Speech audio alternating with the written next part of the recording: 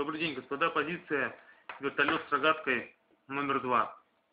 От первой позиции он отличается более оригинальной рогаткой.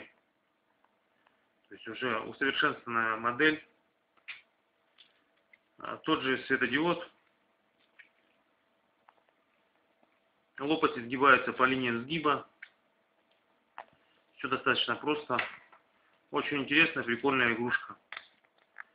Всем удачных продаж!